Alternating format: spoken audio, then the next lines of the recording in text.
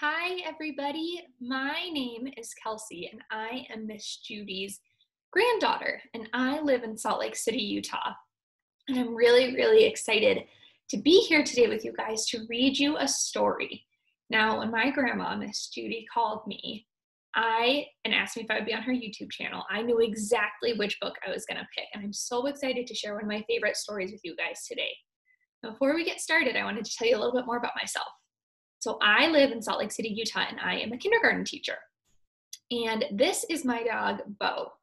Now, Bo really likes listening to stories, so I hope he can be in our whole video, but he might want to go take a nap instead because he also likes taking naps. Okay, so the book I picked to read with you guys today is called Library Lion, and this is one of my absolute favorite stories. And something kind of fun about it is that my grandma, Miss Judy, actually gave me this book. So I've had this book for a really long time since I was your age, and I'm so excited to share it with you guys today. Okay, here we go. So Library Lion is written by Michelle Knudsen and illustrated by Kevin Hawkes.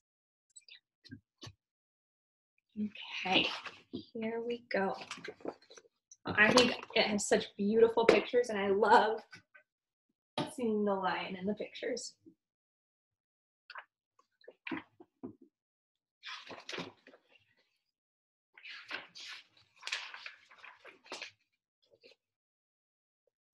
One day, a lion came to the library. He walked right past the circulation desk and into the stacks.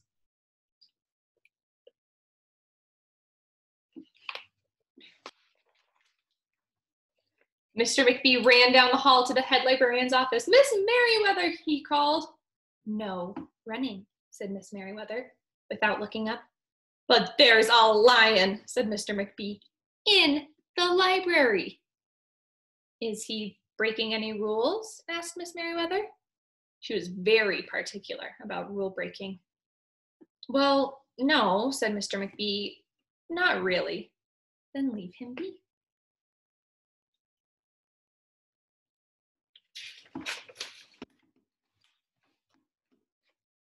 The lion wandered all around the library. He sniffed the card catalog. He rubbed his head against the new book collection. Then he padded over to the story, corner and went to sleep. No one was sure what to do. There weren't any rules about lions in the library.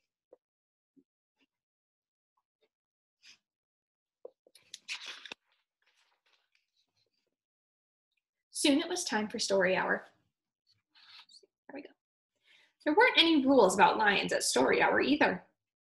Story Lady seemed a bit nervous, but she read out the first book's title in a good, clear voice. The lion looked up. The Story Lady kept reading.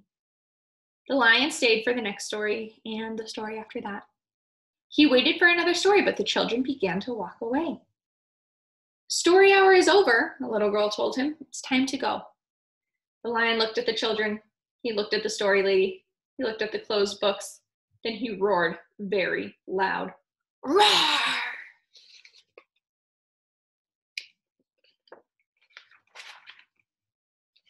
Miss Merriweather came striding out of her office. Who is making that noise? she demanded.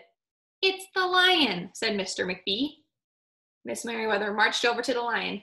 If you cannot be quiet, you will have to leave, she said in a stern voice. Those are the rules. The lion kept roaring. He sounded sad. The little girl tugged on Miss Merriweather's dress. If he promises to be quiet, can he come back tomorrow for story hour? she asked. The lion stopped roaring.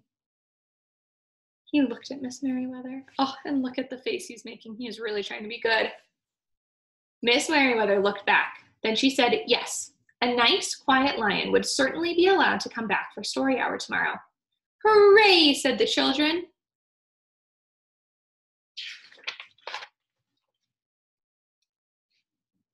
The next day, the lion came back. You are early, said Miss Merriweather. Story hour is not until three o'clock. The lion did not budge. Very well, said Miss Merriweather. You might as well make yourself useful. She sent him off to dust the encyclopedias until it was time for story hour. The next day, the lion came early again. This time, Miss Merriweather asked him to lick all the envelopes for overdue notices.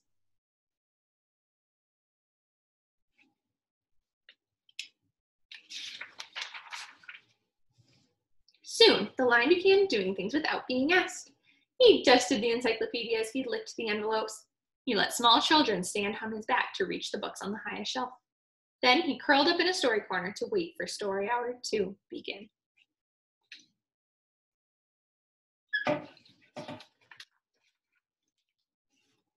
At first, the people in the library were nervous about the lion, but soon they got used to having him around. In fact, he seemed very well suited for the library. His big feet were quiet on the library floor. He made a comfy backrest for the children at story hour. And he never roared in the library anymore. What a helpful lion, people said. They patted his soft uh, head as he walked by. How did we ever get along without him? Mr. McBee scowled when he heard that. They had always gotten along just fine before. No lions were needed. Lions, he thought, could not understand the rules. They did not belong in the library.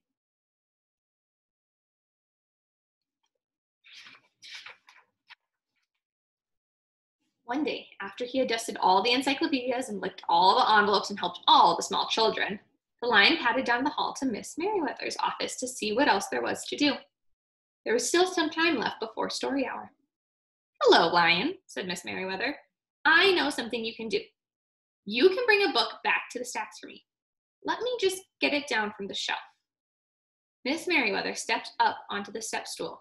The book was just out of reach. Miss Merriweather stood on her toes and stretched out her fingers. Almost there, she said. Then Miss Merriweather stretched a little too far. Said Miss Merriweather softly. She did not get up. Mr. McBee, she called after a minute. Mr. McBee! But Mr. McBee was at the circulation desk. He could not hear her calling. Lion, said Miss Merriweather, please go and get Mr. McBee. The lion ran down the hall. No running, called Miss Merriweather after him.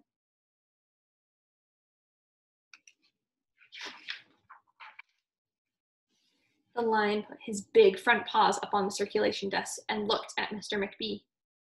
Go away, lion, said Mr. McBee. I'm busy. The lion whined. He pointed his nose towards the hall, towards Miss Merriweather's office, but Mr. McBee ignored him. Finally, the lion did the one thing he could think of to do. He looked at Mr. McBee right in the eye. Then he opened his mouth very wide and he roared the loudest roar he had ever roared in his life. Oh, and you can see all the words that spell roar in all capitals. He's shouting this out. Mr. McBee gasped. You're not being quiet, he said to the lion. You are breaking the rules. Mr. McBee walked down the hall as fast as he could. The lion did not follow. He had broken the rules, and he knew what that meant. He hung his head and walked towards the door. Mr. McBee did not notice. Miss Merriweather, he called as he walked. Miss Merriweather, the lion broke the rules. The lion broke the rules.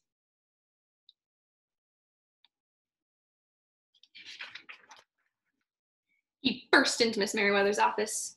She was not in her chair. Miss Merriweather? he asked. Sometimes, Miss Merriweather said from behind the floor on her desk, there is a good reason to break the rules, even in the library.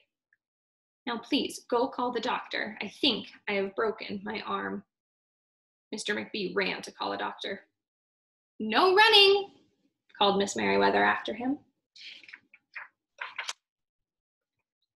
The next day, things were back to normal. Almost. Miss Merriweather's left arm was in a cast.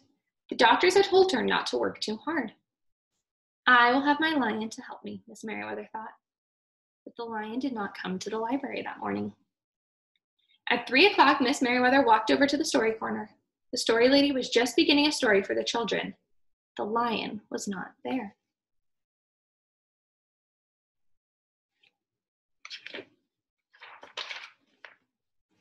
People in the library kept looking up from their books and computer screens, hoping they would see a familiar furry face. But the lion did not come that day. The lion did not come the next day either, or the day after that.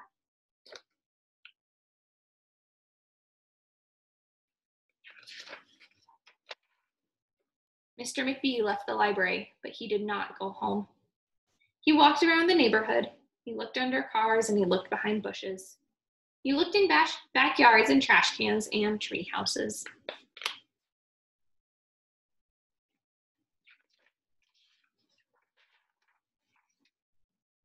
Finally, he circled all the way back to the library. The lion was sitting outside looking through the glass doors. Hello, lion, said Mr. McBee. The lion did not turn around. I thought you might like to know, said Mr. McBee, that there's a new rule in the library. No roaring aloud unless you have a very good reason. Say, if you're trying to help a friend who's been hurt, for example. The lion's ears twitched. He turned around, but Mr. McBee was already walking away.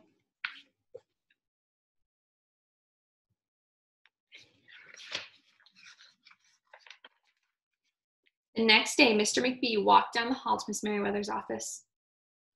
What is it, Mr. McBee? asked Miss Merriweather in her new, sad, quiet voice. I thought you might like to know, said Mr. McBee, that there's a lion in the library. Miss Merriweather jumped up from her chair and ran down the hall. Mr. McBee smiled. No running, he called after her. Miss Merriweather didn't listen.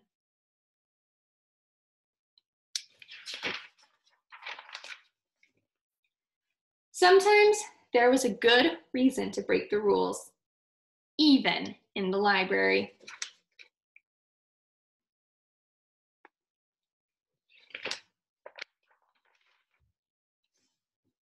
The end. Well, I hope you guys like that story as much as I did.